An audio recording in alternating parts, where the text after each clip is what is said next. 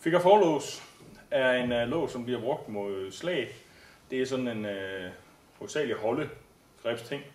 Ikke god at transportere folk i, men uh, man kan få fat i folk, og man kan gå i løb af den. Den fungerer med en mand, der kommer med et ligestød. Jeg blokker ind her og river her. Eller vi laver den her bevægelse, drejer over, laver en lille lås og går ind over her. Og i bund og grund så drejer det sig om at dreje kroppen.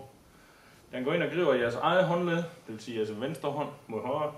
Sørg for, at armen her er 45 grader, presser imod, drejer en lille smule ud og klemmer til. Så får vi en effekt her. Hvis det er et svingslag, blokker ham igen, trækker ham ud over, overdriver. Den her vil være god, hvis man skal ned og arbejde lidt mere, fordi hernede kan vi gå ned og låse. Vi kan få mere smerte på hans håndled. Drejer over, trækker ham herind. Igen, jeg ser nogen lave den her. Ikke en smart idé, for den eneste måde, han kan komme ud på, det er at køre albuen op. Og så er han fri igen. Vi sætter den ud på vores egen skulder. Så igen får den her 45 grader af der, og trækker ned og låser. Skal vi transportere ham i den stilling her, vil det gå to eller tre skridt baglæns med ham, hvorefter han øh, sandsynligvis snubler over noget eller falder. Sidste udgave her. En.